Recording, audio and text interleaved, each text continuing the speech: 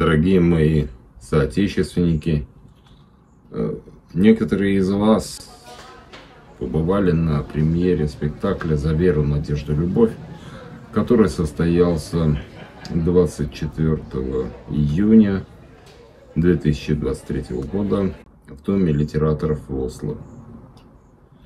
Это мой дебют как автора сценария, режиссера и руководителя проекта в одном лице. Получилось то, что получилось.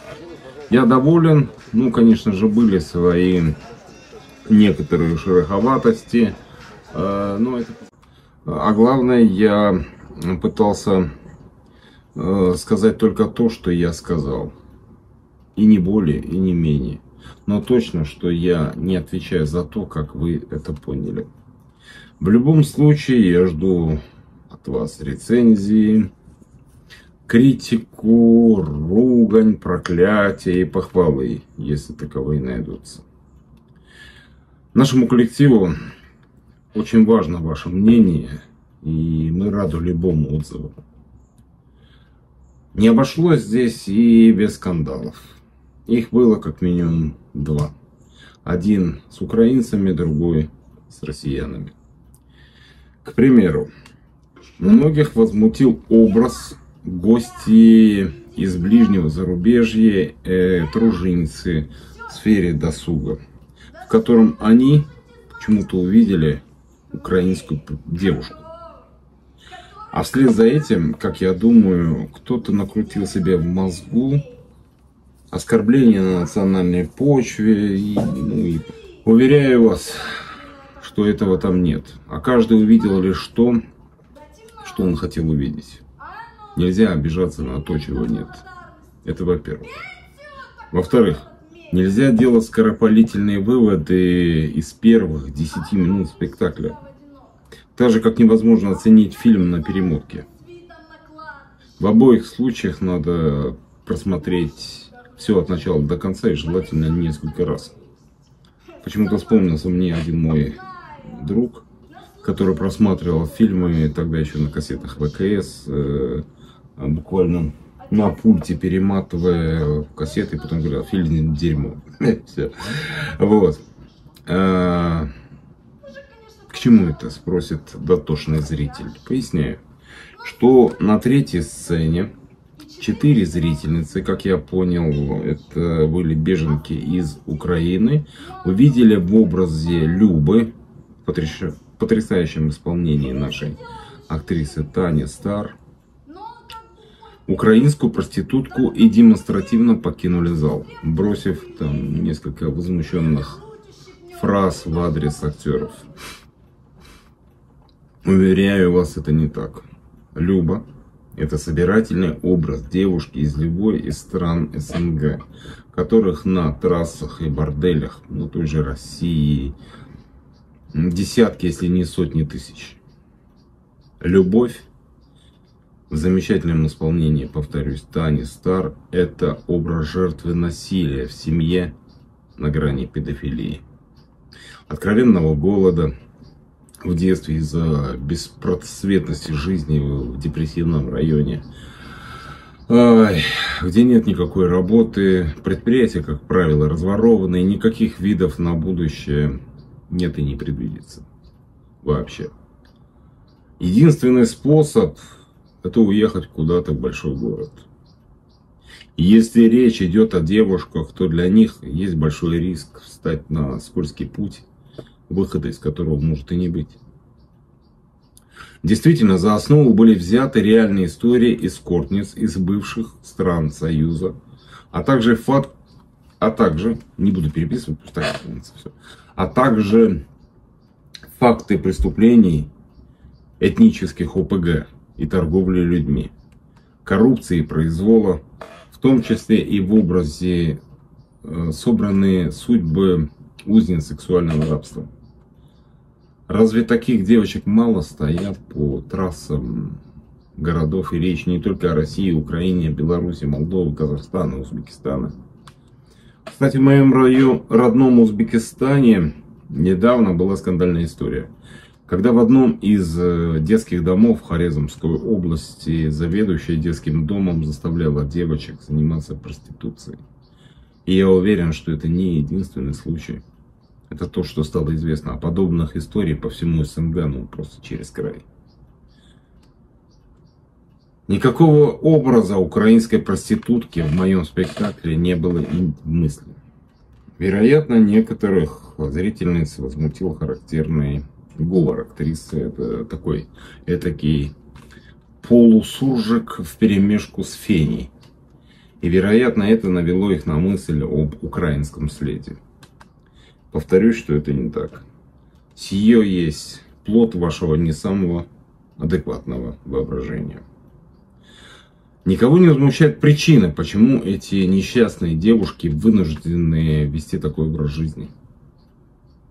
Я уверен, что многие из вас стыдливо отводят глаза, когда видят этих жриц любви. Так какие претензии ко мне?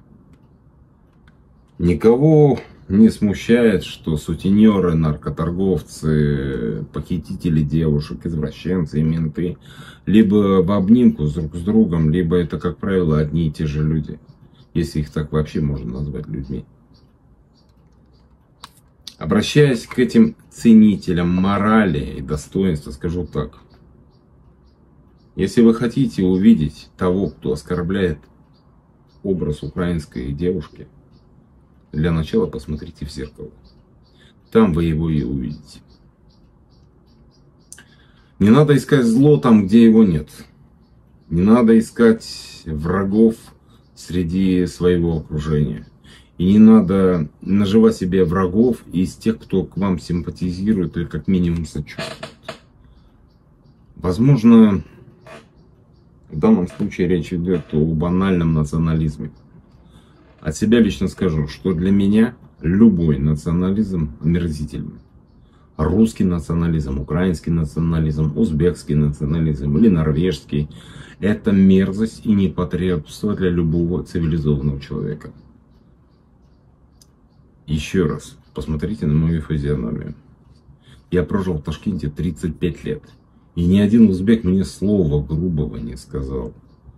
Но сколько я дерьма хлебнул от русского Ваньки. Иногда бывая в России. Это уже в перемешку с криминалом. Поэтому мне вспомнился простой пост из соцсетей в адрес так называемых украинских националистов.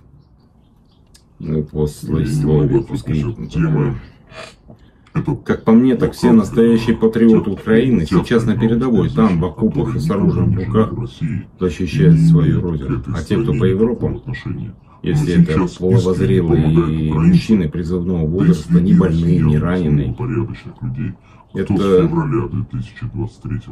Кстати, кто они для вас? Напишите, пожалуйста, об этом в комментариях. может помогать жертвам этого безумия. ну и совсем немного истории. Почему-то по этому поводу мне вспомнился один из монологов, по-моему, Михаила Михайловича Жванецкого. Те, что сидят по Когда он рассказал, что в период тотального дефицита в конце 80-х, он сказал своему другу такое замечание, что тот купил, как сейчас сказали бы, брендовую вещь, которая по содержанию оказалась просто тряпкой за немыслимые по тем временам деньги. После чего он навсегда потерял этого друга. Тот, видите ли, обиделся на него за то, что он ему сказал правду. Он обиделся не на того, кто продал ему это дерьмо, а на него, кто ему сказал правду об этом. Так и в нашем случае интимный рынок есть. Там девушки со всех республик Союза. Менты коррумпированные и этнические ОПГ, торговцы людьми тоже есть. А сказать про это не смей. В противном случае на тебя набросятся правозащитники, феминистки и всякие хранители ценностей. Менты обвинят тебя в работе на иностранные спецслужбы. А говоря о последних, я говорю о ценителях ценностей. Нередко тебя обвиняют в расизме, ксенофобии, и все заканчивается нападками и даже угрозами убийства в твой адрес. А те же менты сразу становятся глухими и слепыми. Удобная позиция, не правда ли? Твори любой беспредел, и тебе за это ничего не будет. Тем более, что по личному опыту скажу, нередко и по странному стечению обстоятельств, всяким ОПГ на помощь всегда приходят мои недавние коллеги, которых я теперь называю кривозащитники. Потому что я не понимаю, кого и от чего они защищают. И такое, у меня такое чувство, что они руководствуются принципом, чем хуже, тем лучше. Мое мнение было и остается неизменным. Проституция и торговля людьми имеют место быть. Только там, где это позволено. Часто правоохранители и бандиты – это коллеги по одному бизнесу. Аресты и посадки – это лишь так, устранение конкурентов. То же самое могу сказать о наркоторговцах. Наркотики продают там, где это позволяют власти – Преступность процветает лишь там, где общество исповедует безграничную толерантность ко всякого рода ОПГ. А те, в свою очередь, прикрываясь лозунгами о правах человека, расизме и ксенофобии, творят откровенный беспредел. И здесь мое мнение также не меняется. Всякий, кто причастен к наркотикам, убийца и должен нести соответствующее наказание. А общество не должно лебезить перед ними только потому, что, видите ли, он представитель одной из диаспор, или во время ареста он умело спекулирует на теме расизма, там, где его нет. Меня часто обвиняют в какой-то русофобии. Якобы я ищу в России все, что связано с русскими, только негатив. Что тоже есть откровенный бред. Вот вам реальные примеры и чтобы далеко не ходить, возьмем факты из моей личной жизни в норвежской столице. В самом центре Осло открыто продают наркотики. И никто не прячется. Наркоторговцы никого не боятся. И вообще тем самым показывают, где они видали полицию вместе с законом и э, прочими репрессивными мерами, если таковые есть. Ах, в моем случае я видел, как обнаглевшие наркоторговцы приставали даже к бабушкам с гуляющими с детьми или к кормящим мамочкам с колясками, с наркотой. Я был возмущен и вызвал полицию. Те приехали не так скоро и повязали, правильно, меня. Сказали, не надо дублировать действия полиции. Ты не правоохранительные органы. А наркоторговцы откровенно смеялись надо мной, назвали меня идиотом и сказали, что они каждый день здесь платят долю с продажи, и поэтому их никто никогда не тронет. Наркоторговля в Норвегии формально запрещена, но не для всех. Видимо, кто-то шепнул на ухо бандитам, что им теперь все позволено. Я уверен, что подобное безобразие есть и в Лондоне, и в Париже, и в Берлине, и в Мадриде, и в Риме, и где, где только еще. И в других городах Европы. Очень хотелось бы, чтобы зрители в комментах написали об этом. А еще лучше сняли видео, если таковое возможно. И говоря об интимном рынке, в Осло есть свои нелегальные кварталы красных фонарей. И там абсолютно та же картина. Проституция в Норвегии запрещена по закону. И наказание здесь предусмотрено не только для тех, кто предлагает интим-услуги, но и для тех, кто покупает их. Потому как тем самым он стимулирует всякие УПГ. Попробуйте прийти туда и вызвать полицию. Если повезет, то сутенеры вам могут на месте проломить чердак. А если нет, то могут убить прямо там, не сходя с места. И полицию не дозовешься. В лучшем случае успеешь вытащить телефон. Это в лучшем случае. Все об этом знают, но говорить об этом нельзя. Якобы ты разжигаешь расизм и ксенофобию. Потому как девушки и сутенеры из иммигрантской среды в основном. Но вопрос в другом. Мы их видим, И сталкиваемся с этим безобразием каждый день. Но почему власти их не замечают? Значит, это кому-то выгодно. Кто-то крышует и наркотики, и проституцию, и торговлю оружием. Неужели в богатой Норвегии и других странах Европы невозможно остановить это безобразие? Возможно, если захотеть. Европейцы любят критиковать Россию за коррупцию во власти и произвол чиновников. А вы сами-то кто? Чем вы отличаетесь от тех, кого вы критикуете? Почему нельзя пересажать всех наркоторговцев и тех, кто за ними стоит? Что-то мне подсказывает немудренную коррупционную схему, когда преступность платит долю с продажи, кому следует. Власти делают вид, что ничего не происходит, а всякие рейды полиции, о которых все и так знают заранее, ни к чему не приводят. Говоря об извращенцах, то ваш покорный слуга состоит в одной нелегальной организации «Охотники за головами», которые отлавливают педофилов в сети, наркоторговцев и сдают их в Интерпол. Это не стукачество, нет, и не сексотство. Это обычная гражданская позиция родителя, что дети не должны подвергаться насилию, а преступники не должны оставаться наказанными. Так вот, большая часть продукции для извращенцев, фото и видео, производится в странах СНГ и привлекает туда девочек из детских домов России, Беларуси, Молдовы и Украины. И это тоже не является секретом. Подумайте об этом. Однако что-то я отвлекся. Возвращаясь к теме обиженных, униженных, оскорбленных. Не хочу вдаваться в лингвистику, но, насколько я знаю, во многих странах СНГ многие люди говорят со специфичным диалектом. Шокают, гэкают. Это и южные регионы России, Беларусь, некоторые закавказские республики, северные территории Казахстана. Даже у нас э, в Узбекистане многие говорят на непривычном для наших краев диалекте. Причем шокают и хэкают не только русскоязычные, но, к примеру, корейцы. Они, кстати, к тому еще и окают. Я не уверен, но это вроде бы такой дальневосточный диалект. В любом случае, каждый увидел в этом образе, в образе этой актрисы, то, что хотел увидеть.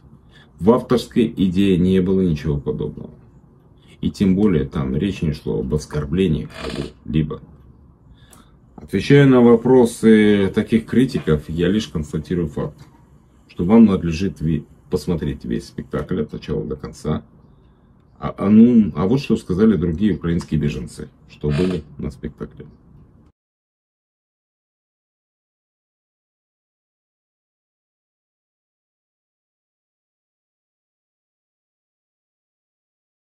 И второе. Почему никого из вас не возмущает причины, приведшие девушек на панель? Ведь большая часть девушек встают на порочный путь, ну, явно не от хорошей жизни. Вас не беспокоит насилие в семье, коль мы заговорили об этнической принадлежности, и у вас почему-то нет вопросов, почему у вас в Украине почти легально действовала педофильская сеть производившая фото и видео клубничку. Это не кремлевская пропаганда, нет. Это отчеты Интерпола, которых трудно вообще обвинить к симпатиям Путину или к его режиму. В Украине открыто действовали ну, бордели для извращенцев. Сначала был шок, потом восторг. Я даже не хочу давать ссылок на эти ресурсы. Они по сей день доступны в сети, где девушки на грани законности возраста. Даже не хочу описывать, что там происходит. Сами ищите в любом поисковике. Хорошо, вот еще один комментарий от зрительницы. Россиянки, кстати. Очень хорошо сработала команда, вы молодцы. Ценность вашего театра в воплощении тех, кто говорит на русском языке. Важно, что вы собираете людей. Это для понимания, что мы разные, но у нас есть много общего. Не было спектакля перерыва. Может быть, он нужен ровно перед телефонным звонком. Благодарна за неоднозначность и противоречивость впечатлений со спектакля. Это что-то старо свеженькое в наступившем развлекательном единомыслии. Далее о втором образе. Надежда. Собирательный образ рядового оппозиционера, а в нашем случае это жена отставного офицера, э, служившего четверть века родине и сейчас выселяет на улицу. Это и есть реальная история людей, отслуживших в армии и в органах, о которых государство просто кинуло. Пенсионеров не бросаем, будем помогать.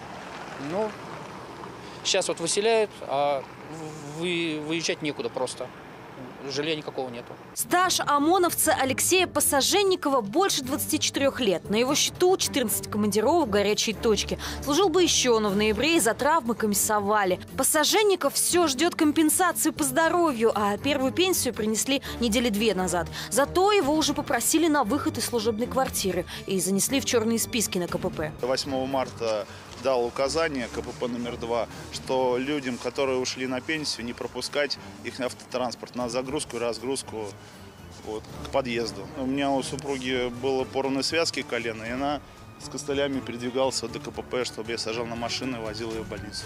40 пенсионеров Росгвардии семьями выселяют из казарм. Так они называются под документом, а по сути три многоэтажки. Офицеры живут здесь 2010-го. Напротив тоже стоят дома силовиков. И там жильцы еще во времена министра МВД Нургалиева успели перевести квартиры в собственность. Нынешние пенсионеры ждут ответа от генерала Золотова. Э, в данном сюжете спасибо коллегам с телеканала «Дождь» говорят, говорится об ОМОНовцах и о росгвардейцах, ну и с военными та же самая ситуация, когда их стали выселять из э, служебного жилья, которое обещали им приватизировать. Но так уж складывается, что Надежда это не только оппоненты власти, но и оппозиция внутри оппозиции, когда лидеры оппозиционных движений заболевают одним очень опасным заболеванием – идиотизм. Конечно же, я не врач, но думаю, что идиотизм это опасное инфекционное вирусное заболевание, передающееся воздушно-капельным путем. Поверьте мне на слово, я знаю, о чем говорю. Общался я с представителями известного шахматиста и олигарха беглого. К ним, к самим, не подступиться а их помощники требовали с меня денег за посредничество в контактах с адресатами. Другие, другие увидели в моей аватарке, ну, скажем, на том же ютубе знак ВДВ. Да, действительно, я проходил сверхсрочную службу в составе воздушно-десантных войск. И в этом не вижу ничего плохого. Это еще было при Союзе. В России я никогда не жил. Кроме того, я не въездной в Россию по неким антисанкционным спискам, или как они там называются. Более того, если я въеду в Россию, скорее всего, я там буду арестован и передан в Узбекистан, после чего за мою жизнь никто не даст и сухой духлой мухи. Почему? Потому что, если повезет, я сдохну примерно через год где-нибудь на зоне под Самаркандом. Но вряд ли такие, как я, доживают до зоны. Просто забьют на допросе менты, как это у нас бывает. И у всех этих э, помощников у них сплошь э, шпиономания с конспирологией. Они с чего-то решили, что я какой-то агент российских спецслужб, специально внедряемых к ним, для того, чтобы, я сам не знаю для чего, есть они... Да, кстати, если кто-то из э, тех, кто узнал себя, пусть напишет в комментах, э, что он во мне увидел, чего, э, как я бы мог навредить вам. Единственный вот у них аргумент, то, что стоит на аватарке ВДВ, никто кроме нас, и это им дает повод утверждать, что я агент ФСБ, СВР, ЧВК, ХМК, еще как-то там. Ну да ладно. Оставим это. О, и таких примеров в моей практике выше крыши. Когда человека используют, я говорю сейчас внутри оппозиции, о рядовых бойцах оппозиции, ну, о рядовых членах оппозиции. Когда человека используют э, на всю катушку, а когда пчела. А когда с ним случается беда, то помощи не дозовешься. И человека просто э, выбрасывают как использованный презерватив в форточку по утру. Сколько раз я такое видел, когда нормальных, образованных, честных и порядочных людей просто спускают в унитаз и забывают о них почти сразу после ареста. Редкий случай, когда об этом скажут какие-то блогеры оппозиционные. И хотя, как я понимаю, своими хилыми мозгами, это в тех случаях, когда речь идет о людях как о расходном материале. Третий образ. Вера, представитель городской элиты, большого бизнеса, оказавшийся не в том месте и не в то время. Хотя я бы характеризовал ее как богатые тоже люди. Напомню, что все действие спектакля происходит э, в полицейском участке, куда свозят э, трех совершенно разных персонажей. Гостю из ближнего зарубежья, позиционерку и представителя городской элиты и над ними стоит один мент. И четвертый образ, Сан Саныч, это участковый милиционер, русский, в прошлом переселенец из Узбекистана, который рассказывает о том, что в самой России плевать хотели на соотечественников. И ведают нам некоторые детали отношения лидеров оппозиции к единомышленникам. В любом случае жду ваши отзывы, комменты и буду рад любому мнению. Также в спектакле звучат мои барбовские песни. И вообще это вот такой вот мой дебют. Очень-очень жду ваших комментов. Спасибо.